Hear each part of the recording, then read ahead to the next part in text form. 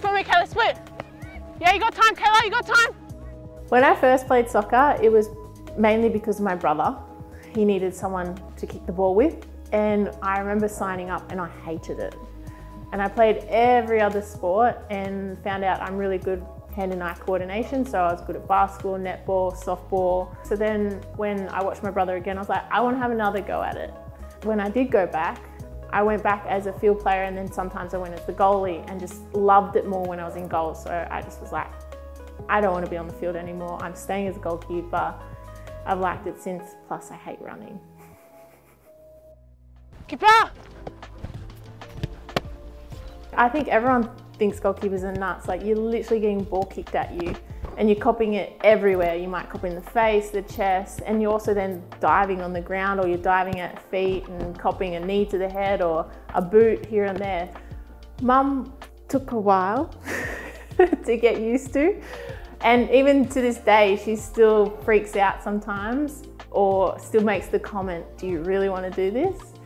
But I love it enough that I'm like, yeah, I do, and, and it's my passion. So she's all for me chasing my dream. Runner! Runner! Gemma, right shoulder!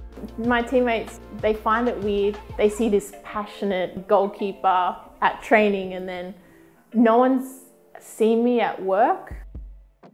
Currently, I'm in ortho and urology at St John of God. I've done travel nursing, general practice nursing, aged care.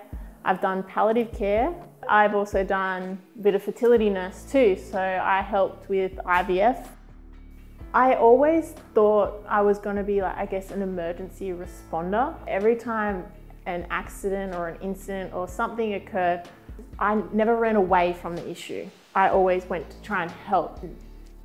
I just enjoyed helping others it is a very demanding job. You're on your feet the whole time and sometimes shifts can be 10 hours, 12 hours, sometimes you might even do a double.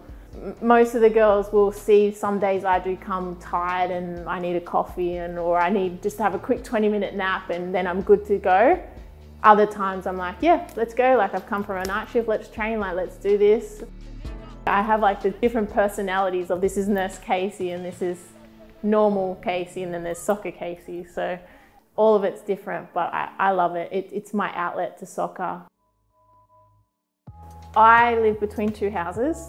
So this one is in Lara near Geelong, but I also train with Victory and they have a shared house, which I also live at. So that's my second home. So I do about 50-50 at each place. So it's juggling where I have to go and where I stay the night, as well as what the schedule's like. I've got bits and pieces everywhere. The shared house, we have a bit of everyone. It's great.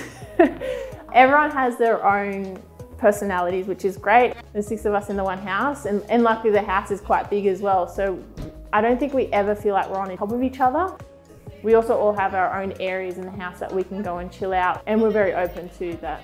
If we want time, we need us time. Like no one will interfere and you can do your thing. H, sitting now, sitting now, H, sitting now, AJ.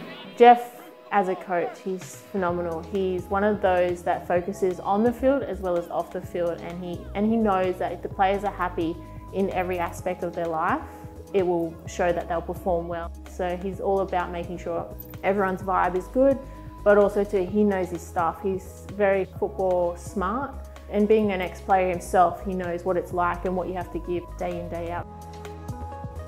We knew premiership play obviously kind of went out the window when we started drawing a lot of the games, but we also know we're that team that once we're in finals, our whole mindsets change.